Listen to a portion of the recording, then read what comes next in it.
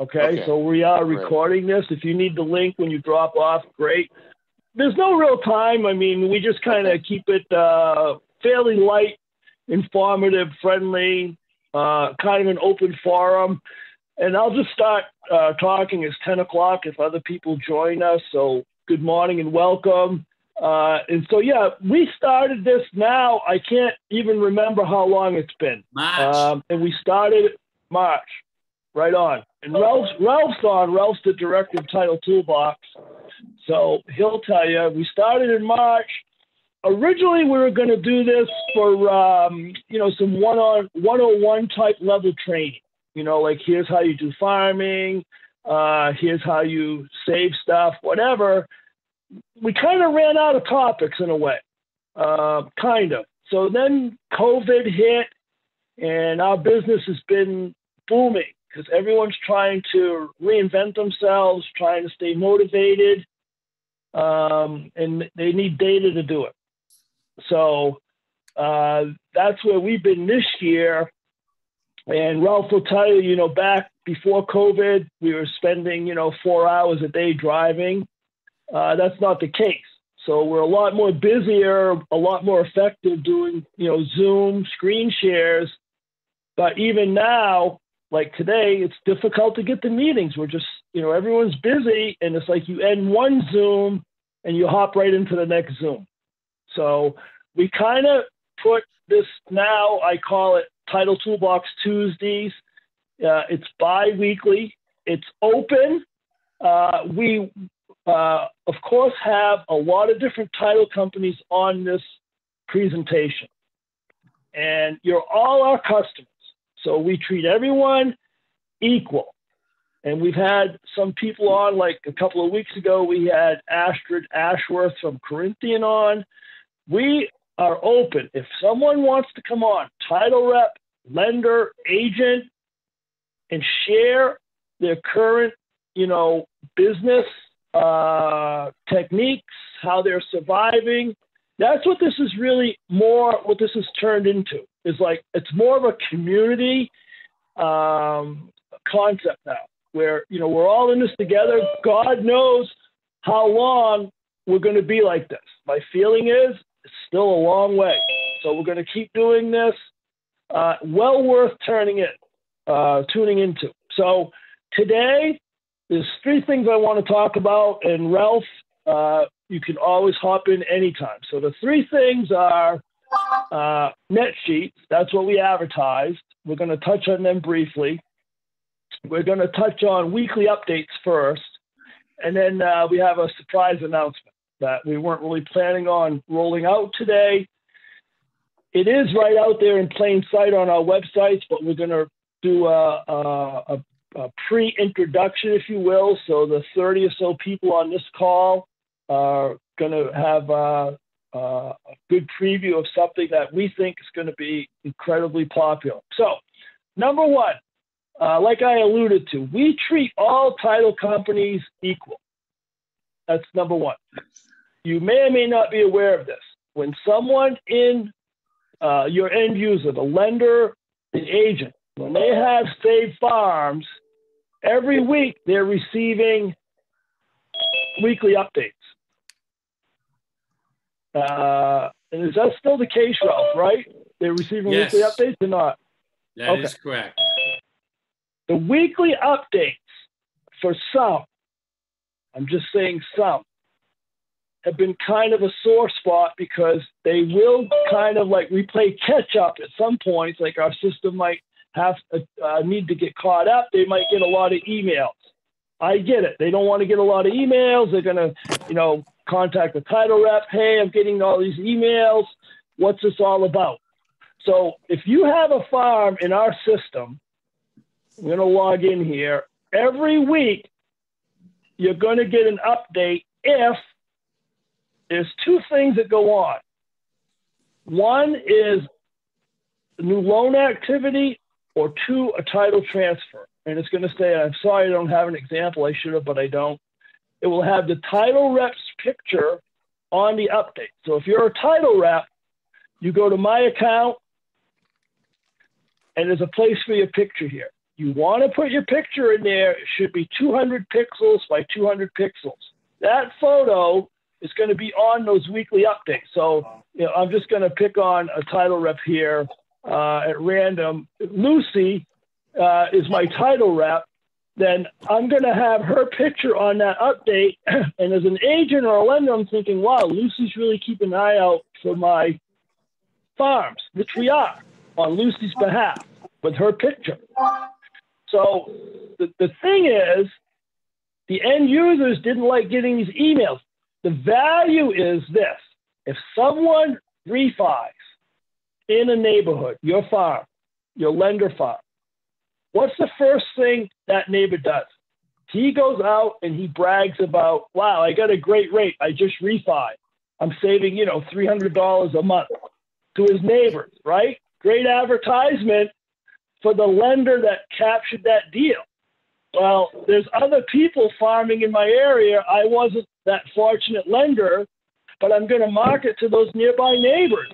This guy that just closed the loan, closed the loan, is always going to uh, do the advertising. I'm going to go out and coattail on that to market to nearby neighbors. Same way when it's an agent here's a listing, a title transfer, it closed. I'm going to market to those nearby neighbors. That wasn't my listing, or even if it was, I'm certainly marketing to nearby neighbors. You know how neighbors are. The minute the new neighbor moves in and they get a little friendly, you know what they ask. You know how neighbors are. Hey, what if you don't mind me asking, what did you end up paying for your house? Right? They some people will ask you that. What they're really asking, in my opinion, is what do you think my house is worth, right? What do you think my house is worth? So if I'm an agent and I had a, a good uh, closing with that property owner, I'm marketing to nearby neighbors. If I'm not that agent, then someone captured that business, I'm marketing to nearby neighbors. So the takeaway is if someone complains to you, you're a title rep, and someone says, Hey, I've had enough of these uh, weekly updates, build that value in there because it will lead to more opportunities for them to close like business. Okay. So, Ralph, anything to say about updates or did I cover that all? Yeah, they're designed to uh, kind of warn you that something of a title change is going on with one of the addresses that your farm that one farm in question is there's some kind of a title change going on, which is should be important to a realtor. So we send them to the realtor and we send them to the title rep connected to the realtor so that you can be the hero and say, hey, 123 Main Street in your uh, Water Watertown Farm is uh, has a title change. So let your customer know, Joe Joe, Joe Blow, who owns the farm, that there are things going on in the farm. He should know that. Excuse me. you should know that that's going on. So, um, anyways, so that's the purpose. So again, we just and it, it yeah. makes sense. Yeah, because we, we just know. yeah yeah. And to interrupt, but we just kind of got overwhelmed last week by uh, people saying, "Hey, what's going on?" Because we kind of just turned that service back on. So again, if, if you get calls about it, build the value. Okay, build the value. So uh, next up, unless there's questions, and you can always text if I have my uh, chat box open. Next up uh, is net sheets. So if you have a farm or a property, and you could go to a property search and put the address in, or you can pull a farm up. And any property here I'm interested in, and I'm hoping this is a good selection, I go to net sheet. So we put a lot of work into our net sheet. And it's uh, a net sheet that you can save, you can print, you can edit. And one of the great features is we put an estimated value in of the property. So, like a Zillow estimate, this is our estimate. It's through our AVM, automated valuation model. Uh, we think if the house is in uh, good repair, and we don't know if it's in good repair, like this house is, looks great. It's uh, got maybe a little age on it, but it looks great, uh, maintained. We don't know. It's a desktop appraisal, but we think if you were going to list this house uh, and close in the next 30 days or so, you could ask, you know, 905 for it. So let me just kind of go off on a small tangent. In our program, the main reason people are using Title Toolbox is we're giving you doors to market to that there's some sort of stressor on, whether it's a divorce, a bankruptcy, a lien. Uh, there's some reason, if your life is good and you wake up in the morning, there's no reason to list. But these properties that we pick, there's a reason that you want to approach them either for a refi or a listing opportunity is there's something going on. Typically, financial, they have to get out from under somehow, whether it be a refi, cash out the equity, or list and take the equity. So we're showing you, it's a great uh, sheet, if you will, of what we think that house is, could list for in today's market. If there's loans, we have the information that would be in here. And if you see more than one loan, as a lender or an agent even, that's a red flag that you know they're cashing the equity out on that house just to stay afloat. So I, again, I took the sample uh, randomly, but if there was more loans on here, that's a red flag. And again, you can you know change the price. Well, so let's say yeah, nine nine oh five was a little optimistic. We can list it for eight seventy five. I can change the price on that, and it will uh, update all of the costs, the fees, There's three tabs here. Everyone always wants to know, you know, what what's it come out to? What am I? Hence the call net sheet. Net sheet. My payments. I'm sure everyone here is familiar with net sheet. So we just wanted to kind of go back over the net sheet a little bit, just touch on it. That is a great net sheet. So please start using it a little bit. Push the uh, value on the net sheet that we put in there? Yeah, go ahead. Question? Yeah, hey, I was I just on the other topic of the updates after they upload sure. their um, spreadsheet. Uh, can that feature be turned off at all or no? Uh, no. Okay. Yes. I just no. was curious. Okay. Right. And so the, uh, the answer really the the answer really is no. That's the, that's the real answer. Okay. It can be turned off, but right now it's not turned off on a per rep or per agent basis. It would have to be for the whole title company.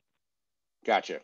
And then another question, maybe a little off track here, is if um, if I have a spreadsheet that I've been working on. right. If I have a spreadsheet, uh, one of my clients has a spreadsheet that he wants to upload. It's it's a pretty significant one, right. like 3,500 names or something like that. At least right. it is. Right on. And uh, he obviously wants to get updated and then he wants to purchase emails right and uh, phone numbers. Can he right. do that with his spreadsheet that he uploads to the system? Yes. So okay. I'm going to close the net sheet. So a couple things here, and we can do a, a training if you need it, but we might not need to. In our system, everyone has preset limits on how large the farms can be, how many exports they can do, things like that. So the first thing you need to do before you get back to your user is go into your account and go into admin and you would find that user. Let's call them, you know, whoever. Let's just call them. Let's let it come up here a second. All right. So let's just say uh, Daniel Oliver at random is my user. First thing, you hit the drop down gear, view edit limits. So what was mentioned was 3,500 properties. So if you see his limits here, he does have 10,000 records per farm. Cool, that'll work. He can export only 2,500. So if he put that 3,500 farm in, and I'll talk about the upload process in a minute, but if he had 3,500 properties, he can only export 2,500. So he's going to not uh, be without a thousand. So you can go in and you can increase that uh, up to 10,000. So you just put the value in and then just hit update. Okay. Just submit an update. Okay. So that's the, what you need to do is to gotcha. make sure that he has the uh, credit, the limit set. So now, okay. as far as the upload, as a title rep, and I, I, this is stuff we've talked about. One of the things you can do to build your business and value to an agent or a lender is to upload their file. They can do it themselves or you can do it, okay? You can do it or they can do it. Okay? And that way, you're right. They can go in and buy phone numbers and emails. They can go in and see, you know, all the life event data in their farm. Again, you're giving them this great tool. They already have a farm. You could recreate that farm by a boundary search, radius search. You can do it that way. If they want to upload it, cool. You get the full farm, the 3,500 properties. So if you go to ben, uh, YouTube and you type in Benutech, let's go. Hold on, guys. Let me get back. You type in Benutech, and this icon right here, it looks like the James Bond icon. I get this question a lot. How do I upload farms? So two or three weeks ago, right here, there's a full video on how to upload farms. It only takes you two minutes to upload a farm. The biggest deal is formatting the spreadsheet. So it takes me, like I said, this is 47 minutes. It takes a half hour to explain it. It only takes you two minutes to do it. So there's a great spreadsheet right there. If you want to go in, take a look at that, take some notes, and then all you need is for your client to uh, send you over the spreadsheet and you can upload it. Okay? So this YouTube channel is a killer channel. If you go in the home and you just hit videos, all our videos yeah, come up. That's great. You know, I've been taught to uh, have the a the a the agent kind of uh, do the upload and kind of walk them through it. But I think the, I like the idea of uploading it for the client. Let them not you know realize that there's no magic that there's some magic going on that I just hook them up. So I think I like that idea. Well, uh, I say you know like if you have the time and you can do it, uh, they're going to appreciate it. You can certainly teach them how to do it, but they're probably not going to. Your farm team can do it. You know, if uh, the farm team wants to upload it, they can send it directly to the farm team and put it in their account. So no matter how it gets uploaded, then once they, they just go to home and they're going to get a automatic email from us, which might go into their spam folder. So what I say is, you know, hey, let me upload your farm and then let's hop onto a Zoom and talk about it. So you just go into farming, down the farms, farming, farms, and save farms right here, and all your save farms come up. So then you just select the farm and you pull it up, and then you're able to go through and uh, I don't think I have a farm I really uploaded here. Like here's one uh, nearby neighbors, 250 if I just select the farm, then you can go in and see what's going on. You know, how many deaths, divorces, bankruptcies, things like that.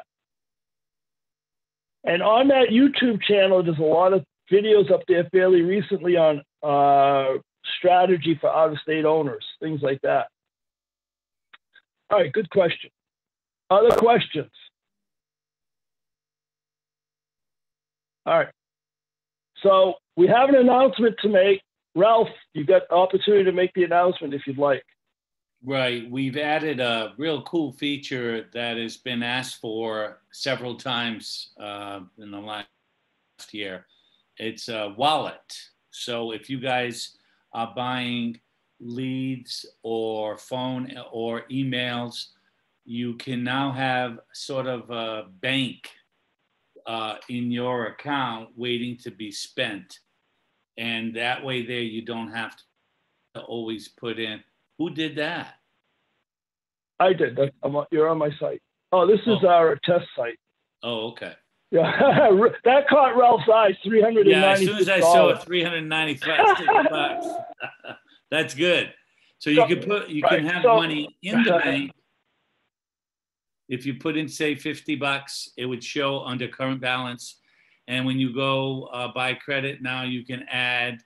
Uh, and then when you go out to check out, whatever you purchased will be, of course, deducted from your wallet and that right, right. avoids the constant uh, putting in your credit card all the time. Right, because uh, FYI, you know, we've had a few questions. We don't store credit card numbers, so they're not certainly on board here or in the server. So you always have to keep putting your credit card in. And the way the system's uh, built is, if I wanted divorces, bankruptcies, and say uh, probates, I have to do them one at a time, and that still hasn't changed. So if I do a search, you know, Premier Data, uh, and then if I go into, uh, let me just take take you through it quickly here. Let me just take, let me just show you what I'm talking about. I think you probably all know that. If I pull up a farm here,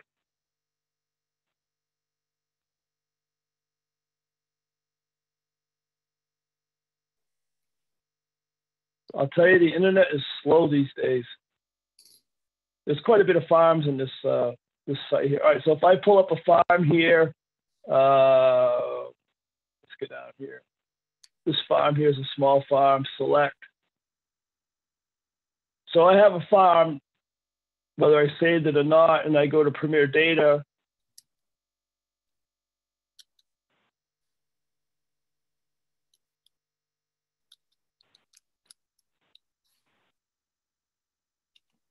And then if I wanted under leads, if I want to say divorces or affidavits of death, I have to do those one at a time.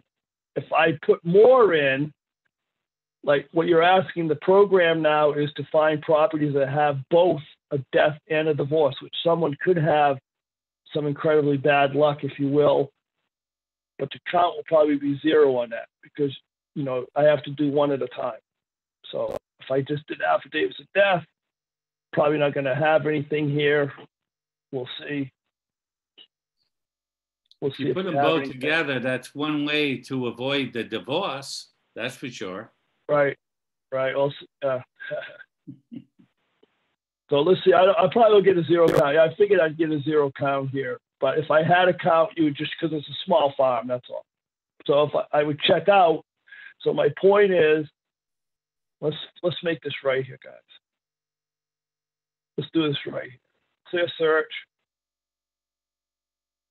Let's do it right here. We have a couple of minutes, right? No one's in a big rush this morning.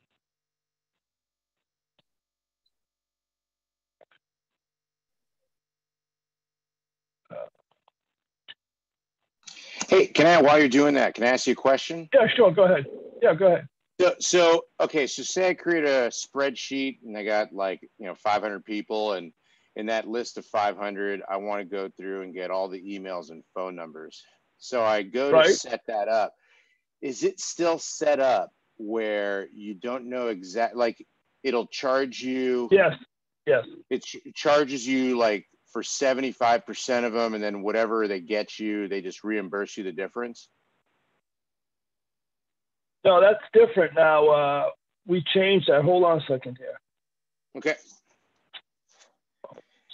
Like that that gentleman who's uh, got that 3500, that's he's trying to go for emails and phone numbers. So what we're trying to do is uh, since I haven't done that yet with a client, I want to know what's, you know, what he's going to expect for, you know, he might just so start with a uh, thousand uh, right off the bat. Right. So that's kind of a uh, lengthy answer to that question. So I can answer it while uh, you're doing your search if you want. Yeah, yeah, go ahead, Ralph. But I was going to mention list services as well. And uh, so, yeah, go ahead. So here's the disclaimer on the thing, but go ahead, Ralph, please. Right. So that's the explanation. They're going to, you got to remember, it's like when you go into a hotel and they ask you for your credit card for charges that get charged to the room, if that is that type of hotel you're in. Um, it's going to put a hold. Wait a minute. What kind of hotel do you go to? for the for the whole amount. So if you have a 3,500, it's going to charge you for 3,500 times five cents for phones and 3,500 for times seven cents for uh, the email match, but it's never going to take that money out of your account. It just wants to know that you have room just in case all of the 3,500 have a phone match. Gotcha. That's how that okay. works. They don't right. actually. And we're telling you. Yeah. Right. Right. They don't take. We're telling you we're going to match 75% of them. That that's just so a guesstimate. Is it kind of like a hold, right. maybe? Is it it's a, a hold. hold. or is it a check? Okay. Yeah. Gotcha. All right. Well, that's good to so, know. That's good right. way to explain right. it then to my client. Perfect. So, but here's a scenario. In this case, you're uploading the farm, so there's no cost for those records. They're just assessor records. And your client will be happy if we match 75% on 3,500. That's a pretty significant capture rate. That's a yeah. lot of uh, phone numbers. If, on the other hand, you're showing the program to someone, I want, say, all of the deaths or the liens in a certain city, say, it's, or loan information. I want all the FHA loans or conventional loans in a zip code or a city. That's a huge number. Could be 2,000, 5,000 records. But I want phone numbers and or emails. So if you think about it, what your client really wants is a property that has a loan, a death, or a lien, whatever we select, and it has to have a phone number. Well, we're telling you right in front here that you're only going to get 75% phone numbers, 35% emails. So if that's the case, and I'm your client, and I bought, say, 10,000 loan records for the city of Glendale or wherever, and I go into my account and I've only got uh, 3,000 emails, then someone's got some explaining to do, right? Oh man, I wanted all emails. I'm, you know, I, I do email campaigns I spent, you know, for 7,000 loan records at five cents a piece, I can't get emails for. Then we get into this whole thing about, you know, we're going to refund it, so on and so forth. So in the example the gentleman mentioned about uploading the farm, all he has is just regular assessor records. There's no cost. But when people start to buy records, it costs money and they expect a 100% match on their phones or emails. That's not happening. So we offer list services to Ralph, Brian, or Matt, depending on who the title company is. And you can email me, or if you have Ralph, Matt, or Brian's email, and you can either do it yourself or directly for your client and be specific. I want single family homes in whatever zip code or city and I want uh, must have phone numbers. Must have phone numbers. We can get account, a cost, take the credit card information, provide the list. Okay? And I will say this if you have a list and it has phones and emails on it, if you upload that list into a farm like we were talking about, that list is not going to carry those phone numbers and emails up. Okay? That's clear to everyone, right? Yes, sir. Okay, great. All right. So just want to kind of put that out there. So going back to if I wanted to check out here, I so wait one second. Let me just ask and, you. So yeah, go ahead. So uh, so it's not going to carry the phone numbers and emails out and maybe I again I'm I'm kind of newer to this program. I know you can use Deluxe, but does this program actually have a email campaign tool to go out to the consumer? No. Okay, so it's so that's okay. So you just have to keep a separate uh, spreadsheet then.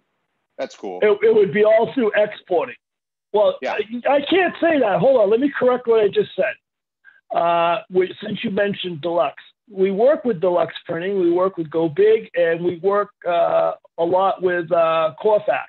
So in our program on board, we do have an upload to Corfax. So if you have a Corfax account, you can plug it in. That's not our company, but yeah. they've been a partner of ours for a long time. We don't have Go Big or Deluxe in Title Toolbox. Right, Ralph? Yes.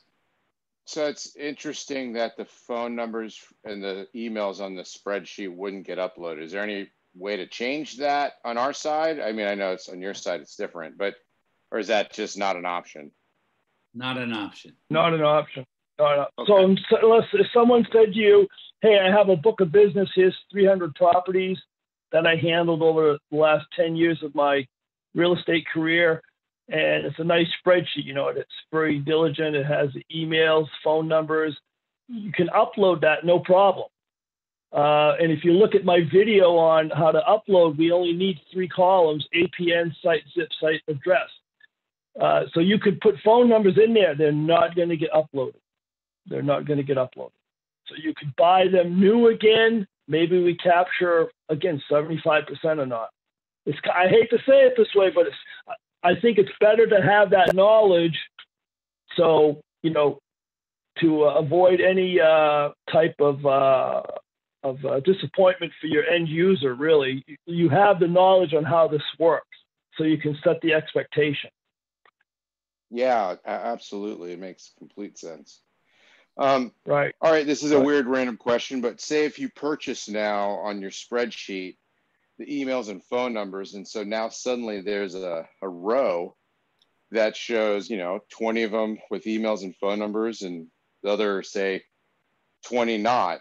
Can you actually input, can you type in an email and phone number once that is created on your spreadsheet and the system? On a spreadsheet, sure. Yeah, because when you export it, it's going to be just a spreadsheet. So any Excel function you can do you can do oh. on that. It's just you're just exporting it into a CSV, okay. Okay. and yep. that's a really lot. That's going to be a really big spreadsheet, by the way. Yeah. So way over to the right, way over to the right would be phones and emails. So you might want to delete some of those columns. Like I mean, some people yep. might not need uh, the ID number we use or whatever. Right? Yeah. Right. Gotcha. Yeah. Thanks for all this info, man. It's great stuff. And, and that's all on that video because I, I had these questions so many times that again, we did that video on Excel basics and how to upload. So that's a really good video. And I'll give a pitch to our app video. I get we get a lot of questions. Brian Fox did a really good video on the app. So these three are fairly recent. You want to really give them a look. Those three. Okay. And again, the wallet, I'm telling you right now, that's a slick, slick feature put fifty dollars in. Like when I go to Starbucks, you know, I put twenty bucks in, and uh, worked great. And we kind of modeled it after that. Just you know, buy your credit, put in your money, fifty dollars or whatever. we we've got a couple of things we're working on. That's why we. This is kind of like a unofficial uh, release of this today. Is if you notice here right now, I can't put in ten dollars. It's red. I can put in $50. So we're going to lower that minimum to $10. Okay. Because uh, believe it or not, to some people, $50 is a lot of money to spend on data. So uh, to, we're going to have an official release coming up here in a couple of weeks. But so right now they are relegated to at least $50. So that's one. And two, if there should be a need for a credit, if there should be, I just backed out here a little bit. This email address right here, ttbhelp at benutech.com. Monday through Friday, 9 to 5, West Coast time for support. You need a refund, a receipt for data, the website's a little wonky, whatever you need, send us an email a screen capture image goes a long way. So really the the uh, wallet, if you will, works great. It's just we need to just do a couple small tweaks. So it's, it's ready to go. You want to put $400 in? Go for it. Other questions?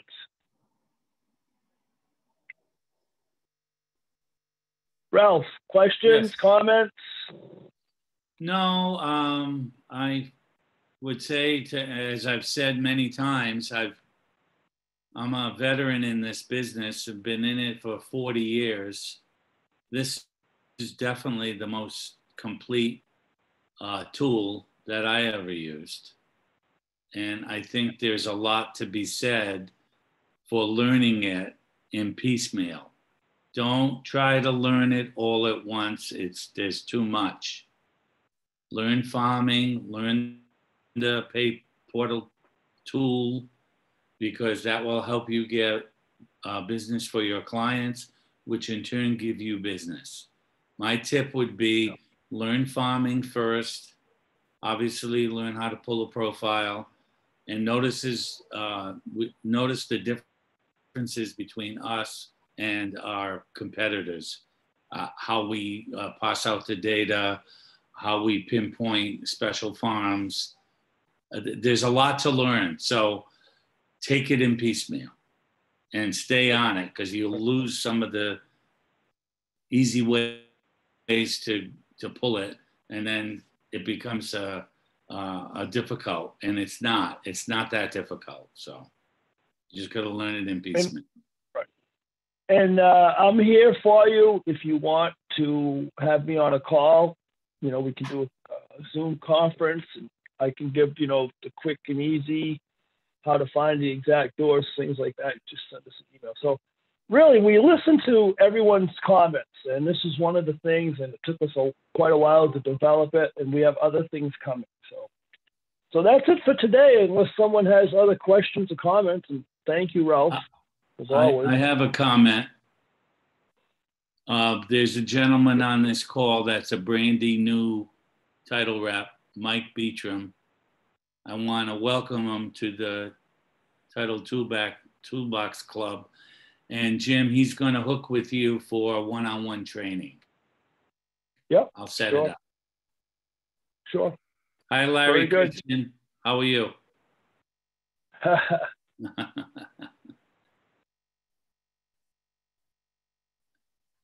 good, sir. How you be? Good, good. Good to hear your voice.